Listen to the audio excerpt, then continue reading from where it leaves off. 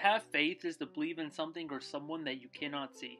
For example, when I plant a seed, I must have faith that it will grow, even though I'm not able to see the plant at that moment.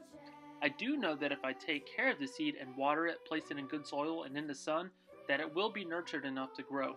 In order to live with God again, we must have faith in our Savior Jesus Christ.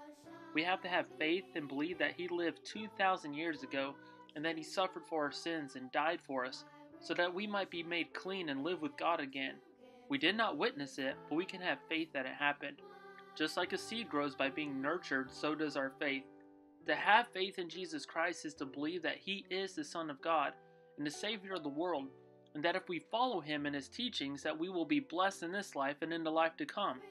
We cannot see the blessings before following His commandments, and that's why it takes faith.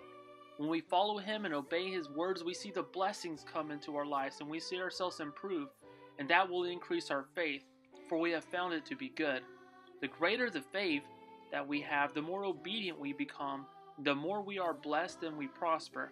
We increase our faith by studying the scriptures, praying, attending church, being baptized, and obeying the commandments. We manifest, manifest our faith through our actions. We recognize that we cannot be saved by faith alone and though we are required to follow him, it is still only by his grace and mercy that we can be saved.